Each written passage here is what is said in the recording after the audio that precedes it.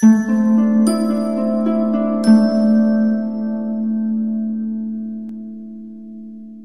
Scorpio, the Awakened Dreamer here to give you your weekly tarot reading for the week of March 1st to the 7th, 2021 as we begin the new month.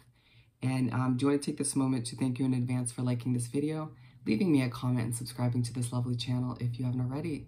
And when subscribing, don't forget that little notification bell. Alrighty? And um, when meditating on your beautiful Scorpio energy for the week, the message that came through was on to better days, on to better days. And um, love the song that Spirit chose for you to speak upon the week. Uh, it was Hello Sunshine by Brandon Calhoon. And so that'll be at the bottom of the description, description box, excuse me, um, if you'd like to listen, if I could even say it. And the line, the lines that stood out were goodbye, sweet angel, and goodbye to lonely tears. I'm going to sweep the dust off the moon and pull the lightning from the sky. So goodbye, sunset. Hello, sunshine. They're just reminding you that you are moving towards brighter, happier, more sunshine-filled days, all right?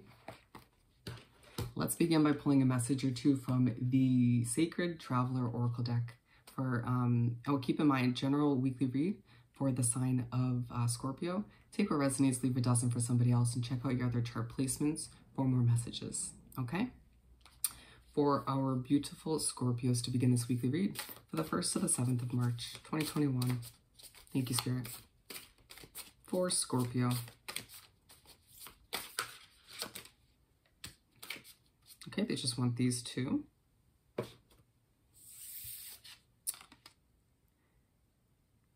Joy and delight. Open your heart to joy.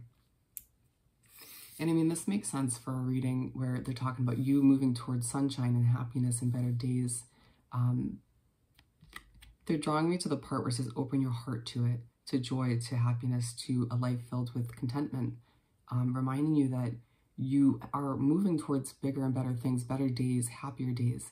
But if you're not opening up your heart to it, if you're not accepting or believing that these better days are ahead, you're going to manifest the complete opposite, all right? You're going to get in the way of you and that, um, that progress, if you will. And in stepping into power, you are strong beyond measure. Absolutely. And so you're going to be reminded this week, or maybe you'll just remind yourself in one way, shape, or form that everything you've been through, everything you've overcome up until this point has left you uh, more powerful than ever, stronger than ever, right? And so it's a time where you're stepping into your own power, your own individual power by understanding, knowing within and just in general that there's so much more ahead. Better days once again. Let's um, continue by pulling seven tarot cards, one for each day of the upcoming week.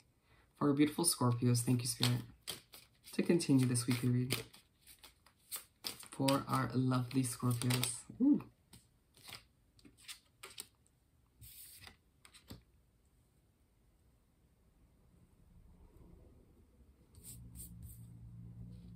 Keep them coming for Scorpio. Thank you, Spirit.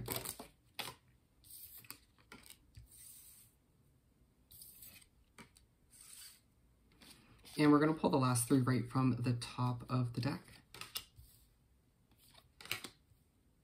Interesting. And so we're starting off the week and the spread with the star card, Major Arcana.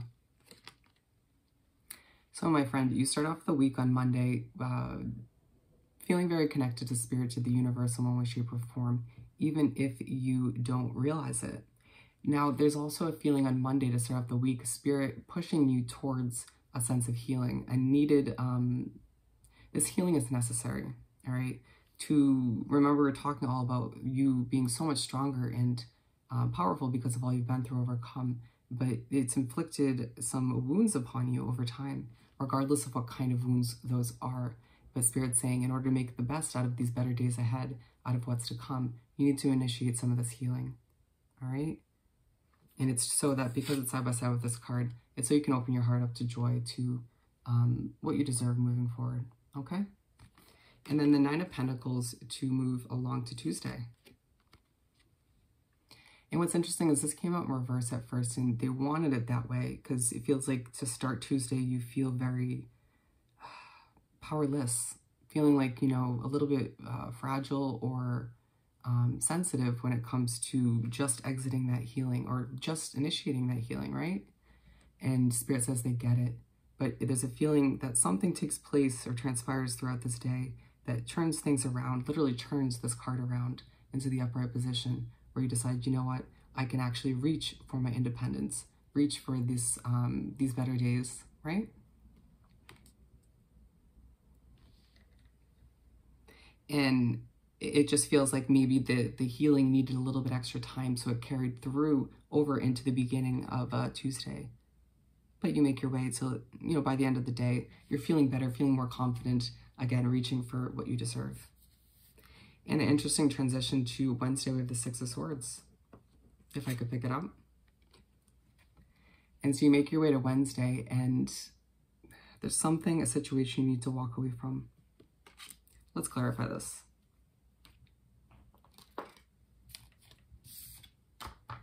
What do we have for this Six of Swords? Thank you, Spirit. For Scorpio for Wednesday.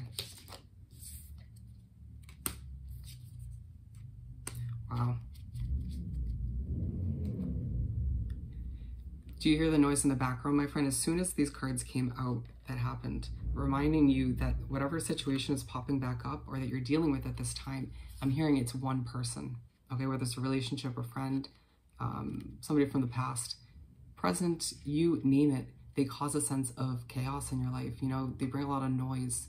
Um, and it's gonna, what, how do I put this?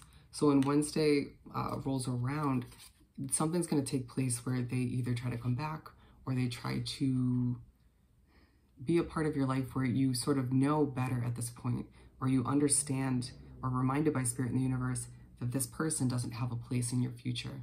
All right, they're going to get in the way of you in these better days for some of you, this person could potentially be weighing things down for you, making things feel more emotional, um, more wounded, right? And so you are not feeling this offer, and Spirit says absolutely trust the intuition. Um, allow yourself to kind of step to the side as Spirit and the universe assists you in putting the situation to rest. All right. And so by doing so, you're walking away.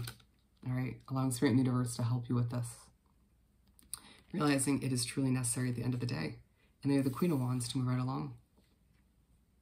And so immediately once you allow for the release of this person, the situation that clearly wasn't healthy, that felt a bit heavy and chaotic, you're feeling more in your power, more, um, more confident, more uh, passionate about what's ahead. It's almost like this removal of this person and the healing, all of which together leaves you with this newfound sense of perspective a new clarity. It's like the cloudiness in your judgment was uh, slowly but surely re being removed. Okay? And we're moving on to the Eight of Swords for Friday. And so it leaves you in a very reflective state when it comes to Friday, asking yourself on a very serious note, who and what is actually making me feel uh, trapped at this point, restricted, you know, and of course, you know, your habits, your mental habits, to say the very least, have a lot to do with this. So you may be thinking about that as well.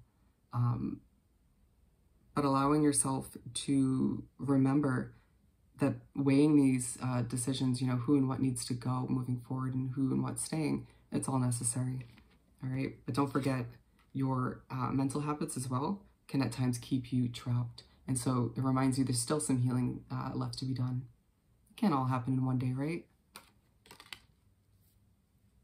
And then we're moving on to the judgment card. And so you begin the weekend, my friend, and you are very connected to spirit once again, very much like Monday.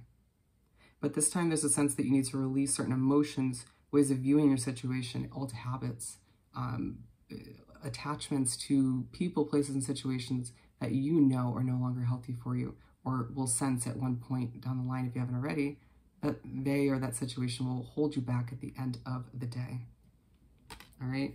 And being aligned with the Nine of Pentacles, they're reminding you that releasing all of which is out of respect for your independence, your financial comfort, your future, the success you have ahead for you, okay? Moving right along to finish off the spread in the week, we have the Six of Wands. Six of Wands. And so in comes a sense of uh, appreciation, recognition at the end of the week to wrap things up with a bow. So let's clarify this one. What do we have for the Six of Wands to finish off the week? Bear with me. Yeah, it just feels like the Judgment card, what we're talking about, releasing emotions and whatnot, it's going to kind of carry through to the end of the week on Sunday. As you can see, the emotion that came out with those cards. Okay, so we have the Hermit reverse and the Fool in reverse. Bear with me. They want the Hermit in reverse and then the Fool in the upright. Uh, this is reminding you, my friend, bear with me. This is, um, to the end of the week, you're going to get this sort of um, clarification, this uh, form of abundance, if you will. It's going to be in the form of recognition, appreciation from your clientele, your coworkers, your boss, uh, soul connections, you name it. It's going to be different for everybody but it's to leave you feeling like you can't stay in hermit mode as much moving forward. It feels like the success you have on the horizon for you, that you're getting a hint of, a taste of to finish off the week, is going to mean that you need to spend more time with other people. Surround yourself with more people uh, that are going to align you with success. All right? Reminding you that to keep yourself aligned with people like this from earlier in the week, not to help. All right?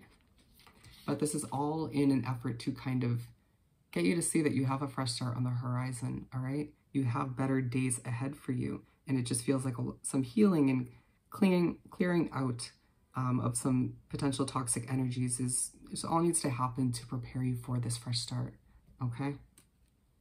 So let's finish this off by pulling a Find Your Happy card or two for our lovely Scorpios. Thank you, Spirit.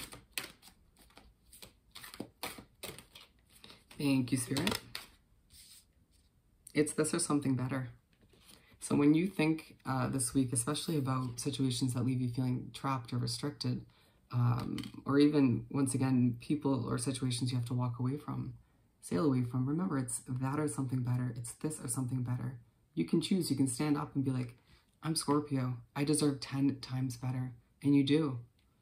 All right? So it's a week where you're going to fully realize by the end that there's so much more ahead for you and what you've been dealing with at this time, okay? So Scorpio, I hope this reading was truly helpful. Don't forget to like this video, leave me a comment, and subscribe to the channel if you haven't already. I hope you have the most amazing week, and I'll see you next time. Bye.